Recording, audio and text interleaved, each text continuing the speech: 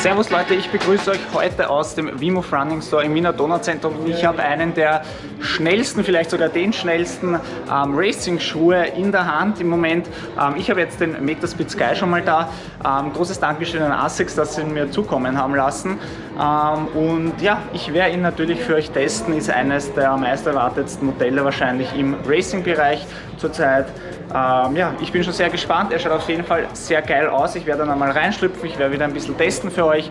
Und ähm, ja, wenn ihr den ganzen auch ausprobieren wollt, ihr seht das beim Vimov Running Store im Wiener Donauzentrum und Wien Mitte gibt es ihn natürlich. Also wenn ihr in Wien seid, gerne vorbeikommen und ausprobieren, ähm, weil ich glaube, so einen Schuh sollte man sich nicht entgehen lassen. Und ja, wie gesagt, ich gebe euch jetzt ein bisschen die Details weiter und das Wichtigste, ich werde den Schuh für euch testen und einmal sagen, was für mich so das Laufgefühl ist, ob er die Erwartungen erfüllen kann und ja, ob man aber neue Bestzeiten damit erwarten darf. Also ich wünsche euch schon mal viel Spaß, start mal los.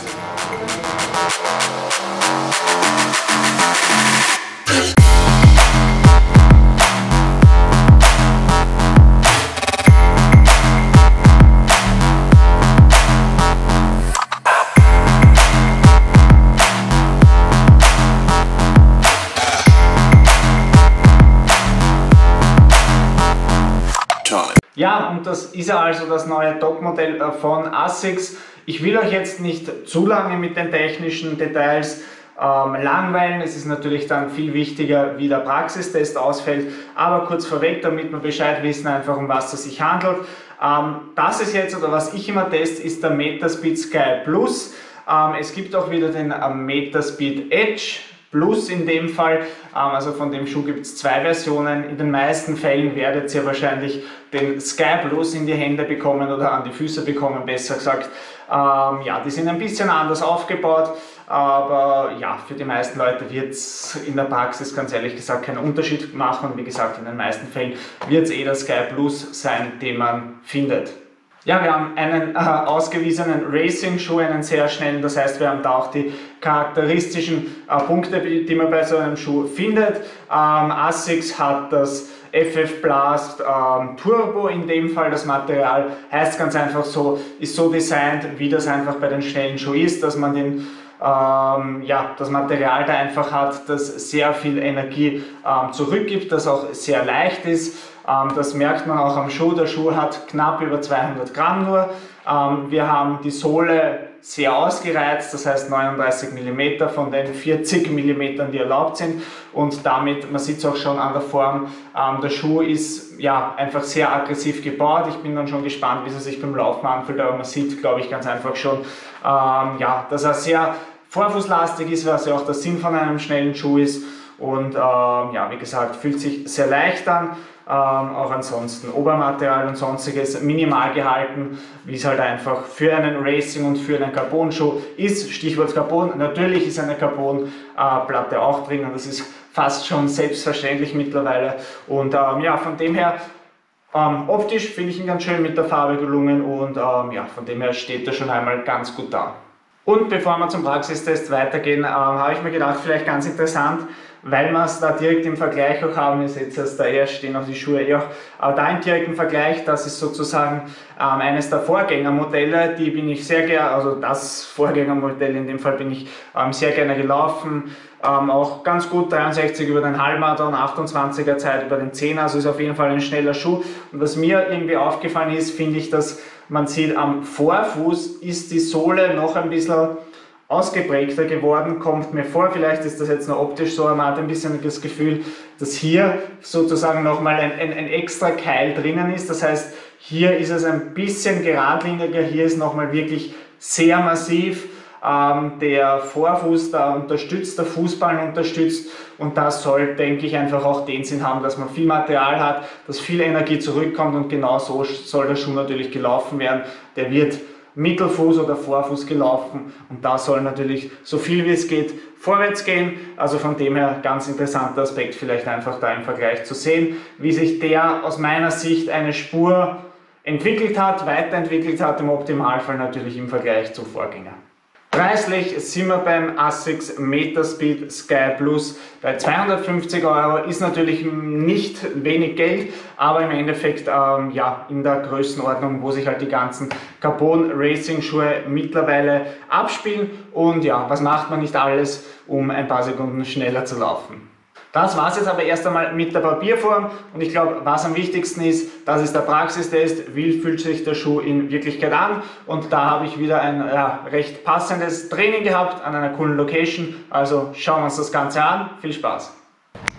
Ja, und ich habe mir gedacht, wo könnte man den vielleicht schnellsten Schuh besser testen als auf der vielleicht schnellsten Strecke, die es auf der Welt gibt. Ich bin zwar am Nebenweg jetzt gerade, aber die Prater Hauptallee, ähm, ja, Kipchoge war ja durchaus schnell unterwegs und ähm, von dem her habe ich die Location auch gewählt für ein Training, ähm, um noch ein, gleich ein bisschen ein Gefühl für den Metaspeed Sky Plus zu bekommen. Ich bin jetzt gerade äh, noch ein bisschen beim Auslauf und ich habe mir gedacht, ähm, ich nutze auch da den Schuh noch das ist natürlich nicht das primäre Einsatzgebiet, also zum Auslaufen brauchst du den schon nicht anziehen.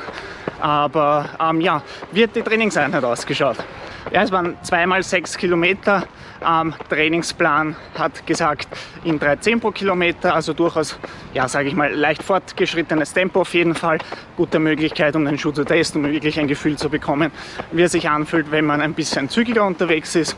Ja, letztendlich das Training selber war Endzeiten von 1850 und 1847, also jeweils so im Bereich von 308 Schnitt. Also ich habe die Vorgaben von 310 sehr gut erfüllen können und habe gleich eben auch ein sehr gutes Gefühl für den Schuh bekommen.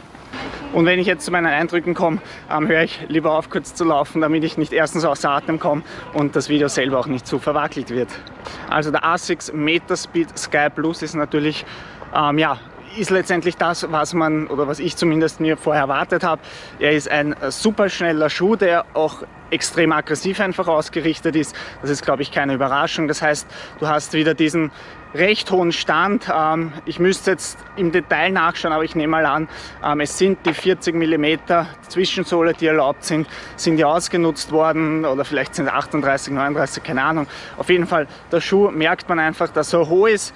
Ähm, der Schuh im Vergleich jetzt, das was ich euch gezeigt habe im Video, ich habe ein bisschen das Gefühl, dass man diese ähm, diese stärkere Sohle, diesen Keil, wie man das nennen will, vorne, dass man den äh, schon merkt. Das heißt, du bist ähm, allgemein hoch beim Schuh, du stehst hoch drin, aber im Speziellen ähm, vorne beim Fußballen. Das heißt, wenn du dort aufkommst, hast du das Gefühl, dass du ein sehr starkes Gefälle hast, dass du dort sehr viel rollen kannst, was natürlich eine super Sache ist und gewollt ist, ähm, wenn man im schnellen Tempobereich einfach unterwegs ist. Wie auch bei den Vorgängern ist das Material eher weich gehalten, was mir persönlich ähm, gut gefällt. Das ist eine individuelle Sache, aber ich mache eher dieses weiche, schwammige Gefühl. Gerade äh, bei längeren Läufen, äh, wo ich es zum Beispiel beim Tempo machen für den Marathon gemerkt habe, das ist einfach extrem angenehm, wenn man nicht so einen harten, direkten Schuh hat, ähm, sondern ein bisschen einen weicheren. Und ich kann mir auch vorstellen, dass diese weicheren Schuhe ähm, vielleicht muskulär ein bisschen angenehmer sind, gerade bei Halbmarathon, Marathon und vielleicht sogar darüber hinaus. Von der Führung her ist es so, dass man durchs weiche Material ein bisschen so das Gefühl bekommt, zumindest beim ersten Probieren habe ich das beim Vorgängermodell auch gehabt, ähm, dass man das Gefühl hat, okay, man steht ein bisschen unsicher drin, ein bisschen wackelig drin. Ähm, ja, das ist einfach diesem, ja, ein, bisschen diesem, der schwammigen Sohle geschuldet, ähm, legt sich aber nach den ersten oder nach den ersten Schritten eigentlich schon recht schnell. Das heißt, man muss sich ein bisschen reinfinden, weil ganz einfach natürlich der Schuh ist viel extremer und viel offensiver ausgerichtet als jetzt dieser Alltagstrainingslaufschuh, den man wahrscheinlich für die meisten Kilometer in seinem Training dann anhat. Das heißt, was ist das jetzt zusammengefasst? Also aus meiner Sicht einen schnelleren Schuh in dem Sinn wird man, wird man am Markt äh, im Moment zumindest nicht finden. Das heißt, ähm, wenn man den ASICS Metaspeed, äh, Metaspeed Sky Plus hat, ähm, wird man nicht sagen können, ähm, da ist jetzt irgendein anderes Modell, was schneller ist. Ähm, was da wichtig ist, wie immer, das erwähne ich immer dazu, ähm, der Schuh muss euch passen, ihr müsst es dann probieren, ihr solltet jetzt einfach reinschlüpfen. Das heißt, ähm, ja, wenn, ihr, wenn es geografisch für euch passt, da auch wieder gerne die Einladung, schaut vorbei bei einem von unseren Vimov Running Stores. Da könnt ihr einfach den Schuh ausprobieren, das ist extrem wichtig bei sowas. In dem Fall die Mitarbeiter kennen sie auch, er macht seine Videoanalyse ähm, und dann seht ihr das Ganze, wie das für euch passt. Und es ist halt so, es ist ein sehr spezieller Schuh und alle Füße sind anders. Das heißt, es kann vorkommen, dass einfach einer breiter, äh, Füße hat, schmale Füße und es passt einfach nicht. Von dem her wie immer, ganz wichtiger Hinweis, vielleicht ähm, seid ihr jetzt eh schon satt gehört, aber ausprobieren, reinschlüpfen und dann seht ihr, ob euch der Schuh passt oder ob euch nicht passt. Aber wie gesagt, wenn er sitzt, dann ist er sauschnell und das muss man natürlich, wie immer auch ehrlich dazu sagen, das ist kein Schuh, wo man jetzt herumjoggt, das ist kein Schuh, ähm, das sage ich ehrlich, wenn du sagst, okay, ich will jetzt meine 45, 50 Minuten ähm, über die 10 Kilometer laufen, wird nicht notwendig sein, so einen Schuh anzuziehen, aber das ist ja am Markt allgemein so, wenn wir jetzt äh, zum Beispiel gerade bei, bei ASICS schon sind, ähm, dass man sagt, es gibt da ein paar Vorstufen zu diesem wirklich ähm, ja, Topmodell. Es gibt einen Magic Speed, es gibt einen Nusa 3, es gibt einen Nova Blast und Co. Also man hat ja mittlerweile eh die Möglichkeiten, ähm, dass man nicht immer gleich aufs Topmodell gehen muss, sondern so ein paar Vorstufen hat, die manchmal sogar eine Platte schon drin haben, die aus Kunststoff ist oder sonstiges. Also ähm, wir haben da wirklich ein Topmodell. Wie gesagt, aus meiner Sicht wird es keinen schnelleren Schuh geben und von dem her, wenn euch der Schuh passt, wenn ihr das Selbstvertrauen habt und das Gefühl habt, dass ihr sagt, okay, ich bin schnell unterwegs und ich will einfach diese letzten Prozent, kann man wahrscheinlich nicht sagen, diese letzten Promille einfach noch herausholen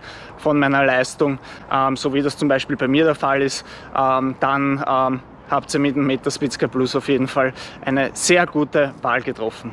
Also ich freue mich auf jeden Fall schon, ähm, wenn, ähm, also das klingt jetzt blöd, aber wenn das sozusagen die Bahnsaison wieder ein bisschen vorüber ist und ich dann den äh, Metaspeed Sky Plus wirklich bei diversen schnellen, sehr schnellen äh, Straßentrainings und dann vor allem auch bei den Straßenwettkämpfen einsetzen kann, weil äh, natürlich 100% das Feeling kriegt man erst beim Wettkampf, aber natürlich merkt man schon im Training dann, okay, das ist ein richtig schneller Schuh. Und ich glaube, das sind auch ganz gute Abschiedsworte. Ähm, ja, ich hoffe, ich habe euch ein bisschen einen Einblick geben können, wie der, ähm, ja, der neue Superschuh von Asics einfach aufgebaut ist, wie er sich anfühlt beim Rennen. Wie gesagt, die letzte Entscheidung oder das individuelle Gefühl, das könnt eh nur ihr treffen. Aber ähm, ja, ich will euch einfach ein bisschen weiterhelfen, dass ihr einschätzen könnt, ähm, wo ihr mit diesem Schuh oder mit den Schuhen allgemein, die ihr auf meinem Kanal findet, einfach positioniert seid.